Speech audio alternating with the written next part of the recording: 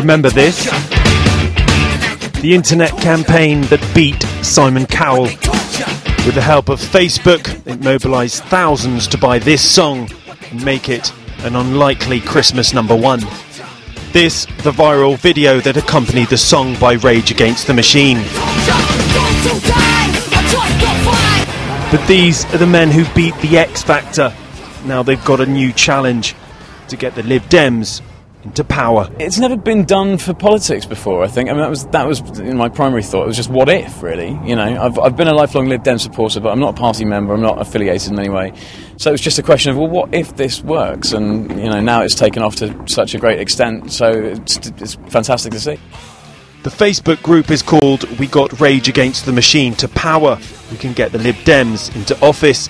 It's picked up more than 135,000 supporters in a matter of days as we, we found out at Christmas, um, you know, Facebook, Twitter, social networks can really make a difference and can really do something.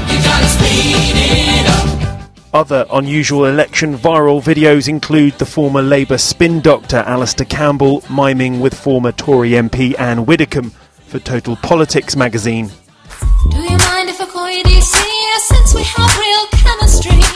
Then there's the pop tribute duo, the Cameron Girls.